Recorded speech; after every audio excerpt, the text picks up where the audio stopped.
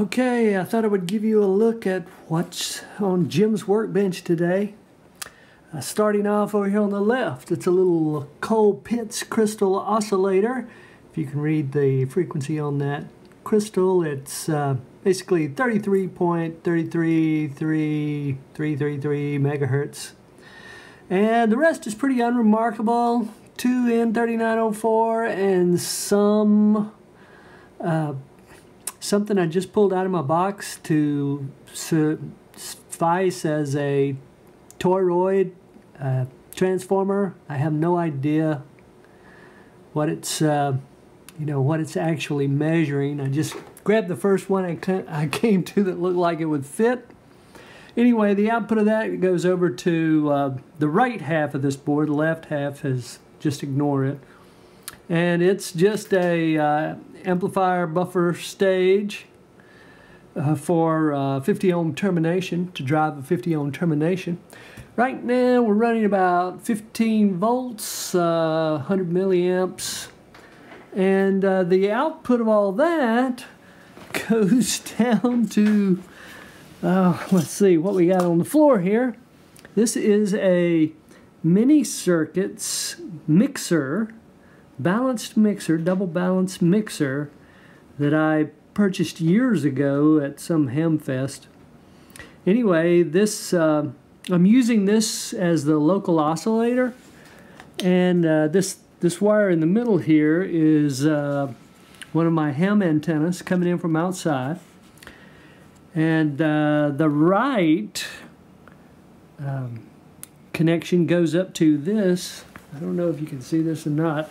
This is a NooElec RTL SDR or uh, oh what's the proper name for them DVT I forget. I forget. Anyway. So uh, of course the purpose of this is as an up converter. You know if you have a local oscillator um, something 24, 25 megahertz or above. And of course, we're using 33 megahertz in this example. And uh, you have enough signal out of that, and you can run it into the mixer and then plug your ham antenna in. You can take the output of that and put it up to the NooElec, and uh, something like SDR Sharp is uh, what software we're running here. And uh, it'll work. You can listen to the ham bands then.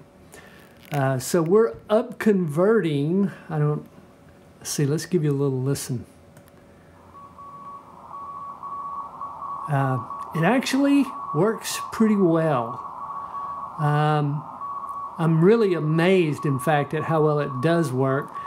This is, I think, I think this is 3.5 megahertz. I don't know.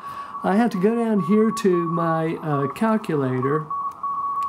The actual center frequency, let's see if I can do this using the camera at the same time, It's 33, 33, 17, 40. Um, actually, I should have I should have done this the other way. Um, it won't matter though. What is that? 40, 355, 330? I'm just going to say minus 43, 55, 330. And the difference in those should be the frequency. Okay, so we're up on 40 meters. I forgot where I was. So basically, right now we're listening to uh, 7.02359.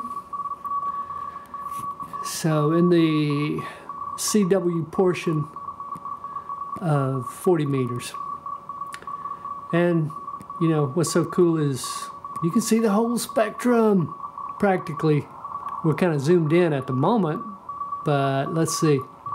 We can zoom out over here. Let's see. So now we're looking at uh, a large portion anyway of seven meters. And this was probably some broadcast band interference right here. I'm not really sure. Haven't uh, dug into it yet. Just just got this working, so we're going to zoom back in here. Whoops, I'm tuning instead of zooming. Uh, so I can tune that guy back in. Or I can come over here and listen to this guy who's more my speed on the key. And uh, this guy looks like he's burning it up. And what's this guy? This is not CW, is it? Yeah. He's just got a really strong signal. Now, really, this guy is more my speed on the key. I haven't been, I have been, I'm rusty. My CW is so bad right now. Anyway, knocking around on the band.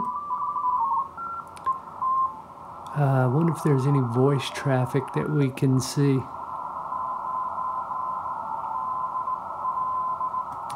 And here's a guy. Here's a guy I can copy.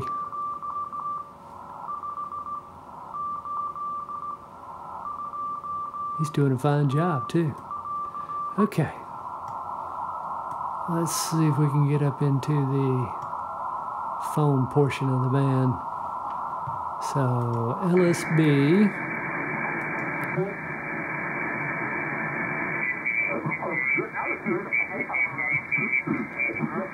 I need to tune up, don't I? Did I go too far? I think I did. Four, Baker X-ray India, over.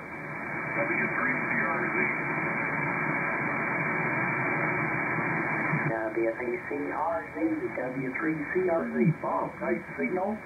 Uh, Bob, thank you. W4BXI John, BH25. You see how clear it sounds? Yeah, I know. I'm a geek. I'm amazed. Nice signal, and uh, hope we see you tonight, over. Anyway, just wanted to let you see what was going on at the moment on Jim's workbench.